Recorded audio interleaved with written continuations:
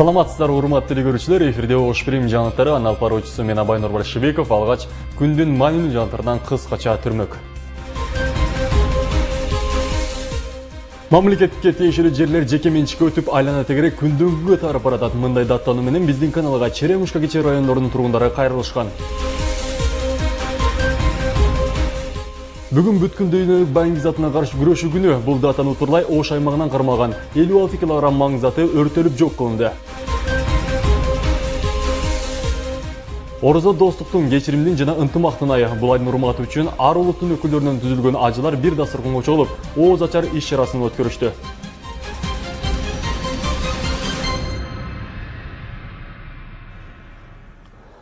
ош шаарынын черемушка кичи районунун чкалова көчөсүндөгү жашоочулар мамлекетке тиешелүү жерлер жеке менчикке өтүп жаткандыгын айтып чыгышты аталган көчөдөгү көп кабаттуу үйлөрдүн жашоочулары үчүн бөлүнгөн аянтча күндөн күнгө тарып андагы ажаткана менен таштан таштоочу жай да ордунан башка жака жылдырылуу коркунучунда турат маселенин чоо жайын кесиптешим кенжебүү маматсадыкова изилдеп көргөн чкалова көчөсүнүн номер жыйырма үчүнчү жыйырма бешинчи жыйырма жетинчи үй бүлөлүк жатаканасынын жашоочулары мына ушул ажатканага келип колдонушат. Ал эми мына болуп турган уруна ошол эле жашоочулардын таштанды таштоочу жападан жалгыз жайы болуп эсептелинет. Бирок учурда мына ушул эки жай тең э, эки тараптуу талаш тартыштын ортосунда турат бул жердеги көп кабаттуу үйлөрдүн жашоочуларынын айтымында эки миң жетинчи эки миң сегизинчи жылдары ажаткана турган жайды сейит курбаназаров аттуу жаран сатып алып эски жердеги ажаткана менен таштанды таштоочу жайды сыртка чыгарган ал эми ордуна үй салып куроосун тегерете тосуп алган аймактагы көп кабаттуу үйлөрдүн жашоочулары нааразычылык билдирип чыккандан кийин жердин бир бурчуна жаңы ажаткана куруп бергенин айткан бул жердегилер бир канча жылдар өткөндөн кийин бул жай дагы талашка түшкөнүн билдиришет biz to'polon qildigilar lekin bizga o'sha meni qo'yib berdi bu yerga mana muzikani qo'yib berdi. Mana oradan vaqt o'tdi. Endi hozir endi yashayotgan odam uni olgan odam boshqa hozir boshqa odam kelib muzikani jo'g'otasin shu yerdan. Tualetda ham alaman alaman men deb o'shanday qilib yotadi bu yerda условия yo'q. Yo отопление yo'q yo tualet yo'q yo suv yo'q. Hammamiz kelgan yerimiz mana shu yer. Да эчтекебиз жок. Ошентип жердин жаңы ээсимин деген инсан жергиликтүү эл менен бир ымалага келе элек бул жердегилердин айтымында үйдүн ээси элдин пикирин эске албай эле ажаткана менен таштандыдан чыккан жыт үйүн каптап атканын билдирген. Анткени менен үч жүздөн ашуун жаран бул жай сүрдүрүлсө биз эмне кылабыз деген суроосуна жооп таба албай убара. Бир домдо ошол жүзгө жакын почти жетимиш сексенге жакын адам жашайт. Бир эле жыйырма үчтө жыйырма беште ал үч этаждуу бизде эки этаж. Буларда деле ошо жүздөн ашык адам жашайт. Бул жыйырма жетиде деле ошондой.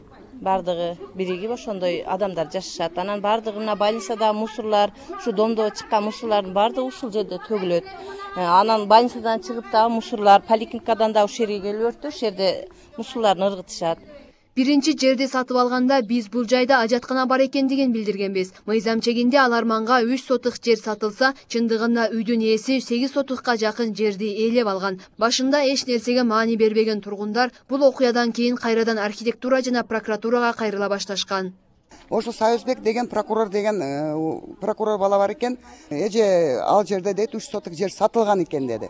А буларды буяк булар дейт сегиз сотук жерди алып алыптыр дейт. Демек котельный өзүнүн местосын действительно саткандыр да там как положено биздин туалетибиз калыш керек экен архитектурага мен да кайрылдым биз разрешение берген эмеспиз биз саткан эмеспиз бул жерди деди обл архитектурага бардым. Там баеков по моему был да или баетов баеков. Мен эч кимге эчтеке кол койгон эмесмин мен саткан эмесмин деди анткени менен сатылган жерге үй салынып баардык шарттар көрүлө баштаган. Тургундардын арыз муңун бул жайдын ээси кандай кабыл алып кандай сөз айтат экен деген ой менен эшигин каккылап көрдүк.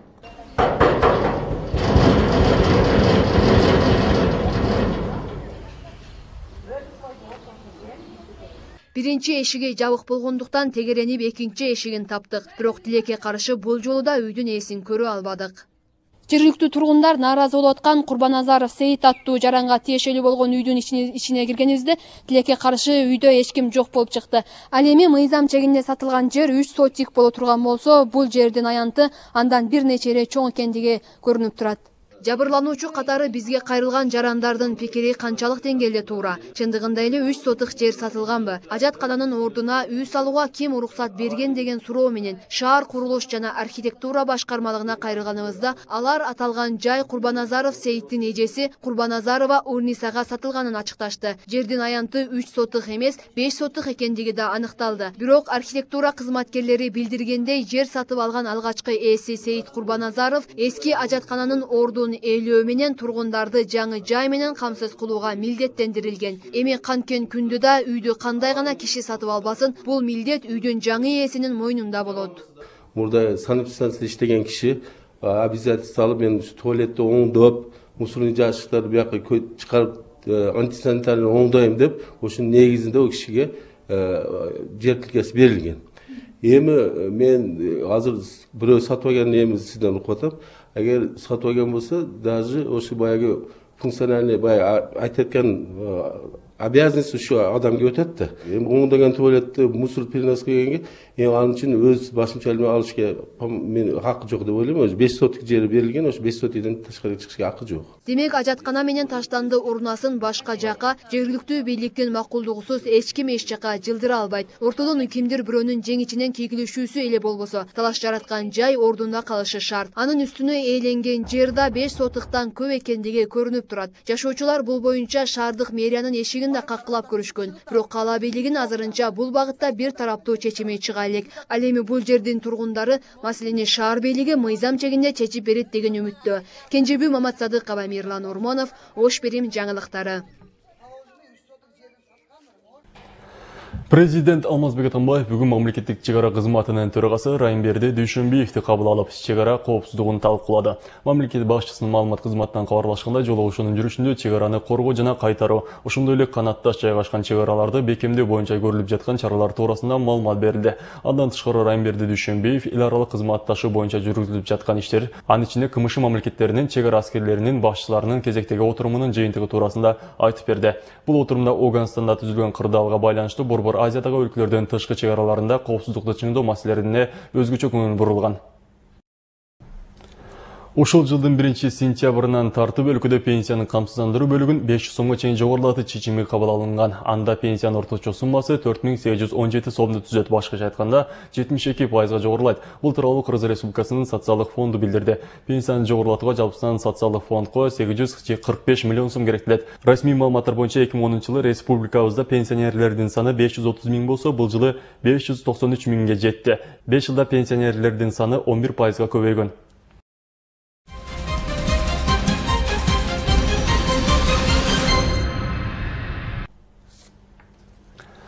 Ош шаары жана Ош облусу боюнча 2000 баңгизатка көз кыранды жаран каттоодо турат. Оорулардын 80% ини сайынгандар болсо, 20% гашиш колдонушат.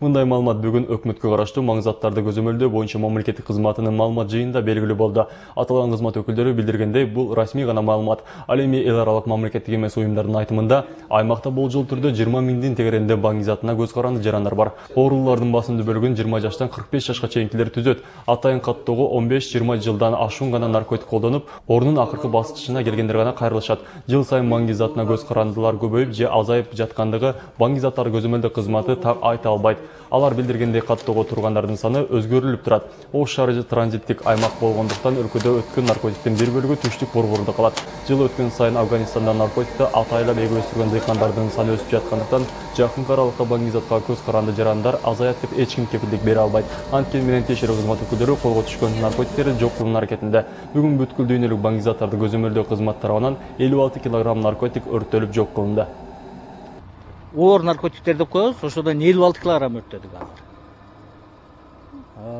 дагы эки жүз сексен беш килограмм баягы прекурсор дейбиз го. Бүгүнкү күнгө ошол коюлганда жок кылыш. Аны башка жерге барып неме жок кылабыз да. Анын технологиясы башка. Ал мындай печтерде күйбөйт. Аны баягы жана мен айтып кеттим го. Өзүнүн кошулмаларын кошуп туруп анан нейтрализовать этип анан ошонун негизинде яма чукуп туруп ошого көмүп салабыз. Өлкөдө июнь айынын акыркы жумалыгы юристтердин кесиптик майрамы катары белгиленет. Ага байланыштуу бүгүн Ош шаарынын мэри Айтмамат Кадырбаев шаардагы мамлекеттик жана жеке ишканаларда эмгектенген юристтерди кесиптик майрамы менен куттуктады. Кыргыз Республикасынын мыйзамынын жарандарга туура жеткирип, алардын адам укугун коргоо жана коомдогу мыйзамдуулукту сактоого зор эмгекти көрсөтүп жаткан юристтер бүгүнкү күндө коомго зарыл. Андыктан түштүк калада дагы мыйзамсыз аракеттерди жана курулуштарды кайрадан мыйзамдуу түргө келтирген юристтердин эмгеги бааланып, аларга шаардык мэриянын ардак баракчасы жана акчалай сыйлыктары ыйгарылды кыргыз республикасынын укуктук ченемдик актыларынын аткарылышын көзөмөлдөө жаатында биздин юристтердин алгылыктуу аракеттерди көрүп алгылыктуу аракеттерди көрүп келе жаткандыгын белгилеп кетүү мен үчүн өзгөчө жагымдуу өзгөчө сыймык десем туура болот. Санкт-Петербургда Чыңгыз Айтматовдун атына гүл бакча ачылды. Аземге Бишкек шаарынын мэри жетектеген делегация катышты. Гүл бакча Карпинский жана Шота Рыставели көчөлөрүнүн кесилишинде жайгашкан. Кыргызстандан барган делегация өкүлдөрү сөзгө чыгып, Чыңгыз Айтматов кыргыздын сыймыгы дүйнөнү багындырган улуу жазуучу экендигин айтып, анын атына гүл бакча уюштурган Санкт-Петербургдун бийлик өкүлдөрүнө ыраазычылык билдиришти. Иш чаранын соңунда тараптар гүл бакчага элдик жазуучу Чыңгыз Айтматовдун эстелигинде тургузуу жөнүндө макулдашышты. Айта кетсек, бакча аянты 2 гектарга чукул. Бакчага кам көрүү милдети Санкт Петербургтун көрктөндүрүү боюнча комитетине жүктөлдү. Жыл сайын эң ыйык ай болгон орозо мусулмандар үчүн кечиримдүү болуп, бирин бирин сыйлоо, урматтоо менен кошулот болуп өткөн каргашыл күндөрдөн сабак алып, күнөө иштерден арылуунун убактысы дал ушул ороз айы. Бул убакта жараткандан ыраазычылык сурап, ынтымакты бекемдөө үчүн түрдүү аракеттер көрүлөт. Кечээ ажылык сапарга барып келген төрт жаран жараткандын ыраазычылыгы үчүн өз качпыктарынан орозо кармагандарга ооз ачар убагында даам сыздырышты. Теманын уланысы кийинки материалда.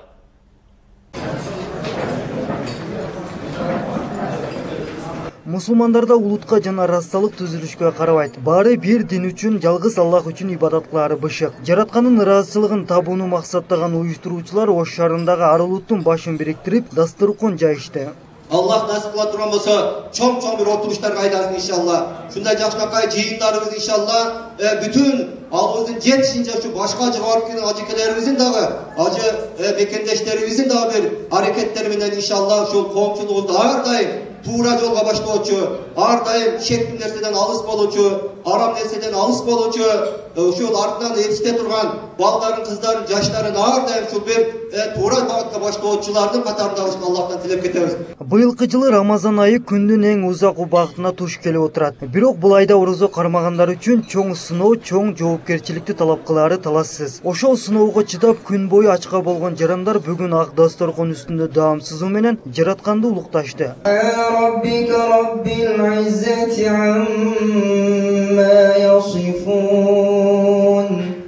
وسلام على المرسلين والحمد لله رب العالمين اللهم احفظنا يا فياض من جميع البلاء والامراض bizni gezdirgen, içirgen, cana musulman kılıp yaratkan Allah Teala'ya çeksiz şükürler olsun.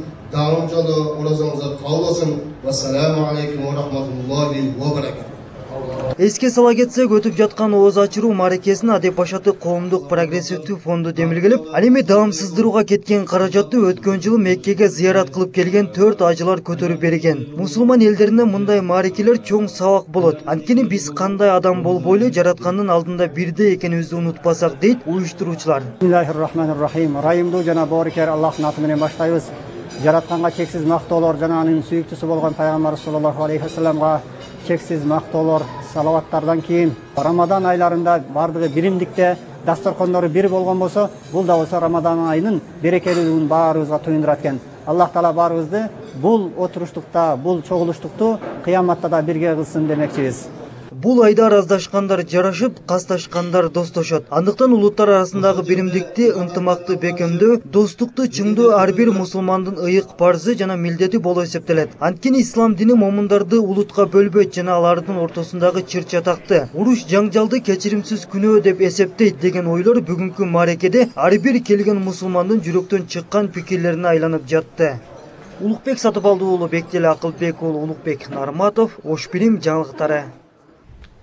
Билайн уюлдук оператору ар дайым кардарлар үчүн мыкты байланыш түзүүгө аракет жасайт. Ал үчүн өзүнүн техникалык каражаттарын өнүктүрүп, байланыштын жогорку сапатта болуш үчүн кам көрүүдө. Бирок айрым уюлдук түйүн менен кызматташкан мекемелер жөн гана каражаттар үчүн келишим түзүп келишет. Ошонун негизинде бүгүн Билайндын Ош шаардык бөлүмү борбордук спорт аянтчасында жайгашкан өзүнүн базалык алып чыгууга муктаж болушту.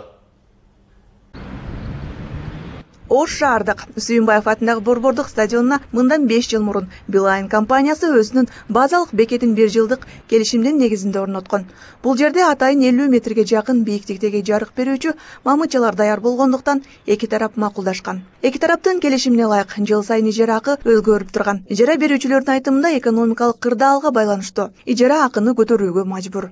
Биздин айлыгыбыз свет суубуз ушу аренданын эсебинен болгон үчүн анан экинчиден мынабу биздин футбол талаачасына арендага бериш кескин токтотулду себеби фифанын афкан требования ушундай болуп калды футбол талаачасында эч кандай футболдон башка дене тарбия оюндары өтпөсүн дегенден футбол аренда платасы кескин токтогон үчүн анан биз булардын аренда платасын жогорулатканбыз бирок беш жылдын ичинде ижара акыны элүү пайыздан жогоруга чейин көбөйтүп жиберүү билайн байланыш түйүнү үчүн дагы кедергисин тийгизүүдө. Уюлдук түйүн кардарлардын эсебинен иш жүргүзүп жаткандыктан бул көрүнүш эң биринчи кардарлар үчүн кызмат көтөрүүнү талап кылат. Аренда чыгымдарынын көтөрүлүшү биздин ушундай уюлдук операторлорго байланышты күчөтүүдө күчөтүүнү токтотууга алып келет. Же болбосо кандайдыр бир чыгымдарды биздин кардарларыбыздын мойнуна илип коюуга аларга жүктөөгө туура келип калат да.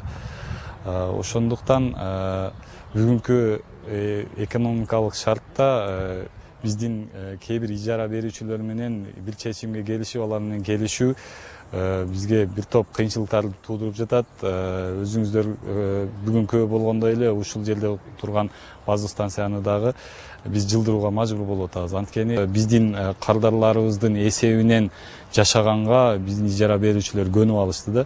Базалык бекет байланыш түйүнү үчүн эң зарыл аймак анын жардамында байланыш мыкты болуп интернет түйүнү ыкчам жана сапаттуу болууну камсыздайт канчалык байланыш операторлорунун базалык бекеттери көп болсо байланыш сапаты ошончолук жакшырат. Ошон үчүн келишим түзүүчүлөр дагы билай менен кызматташууда бул нерсеге көңүл буруп кардарларды дагы эске алса. База станцияны бул канчалык база станциянын саны көп болсо байланыштын сапаты ошончолук жогору болот. Интернеттин ылдамдыгы жогору болот. Бул биздин кардарлар үчүн эң жакшы болот да. Ошондуктан биз ар дайым ушул база станцияларды көбөйтүүнү жаңы базаларды курууну үстүнөн иштеп келебиз. Мунун бир эле максаты ушул биздин элге биздин кардарларыбызга жогорку сапаттагы байланыш жогорку ылдамдыктагы интернет кызматтарын тартуу кылуу да. Ош шаардык борбордук спорт аянтчасынан билайн базалык бекетин алып кеткени менен бул аймактагы жашоочулардын байланышы үзгүлтүүгө учураган жок. Байланыш оператору ушул эле айланага кайрадан өз бекетин орноштурат. Билайн ар дайым мыкты жана сапаттуу байланыш үчүн учурда өлкө боюнча үч миллионго жакын кардарынын ар биринин каалоосун орнотуу аракетинде. Гүлмайрам рахманбердиева улук нарматов ош бирим жаңылыктары Сиздер Ош Прим жаңалықтарын көрдіңіздер. Алдыда алам алқағына болып жатқан оқиялар жана масалық малымат қаражаттарындағы қаварлар менен таныша алыңыздар. Кечиңиздер көңүлдүү улансын. Жагымдуу жаңалықтар менен учурашалы.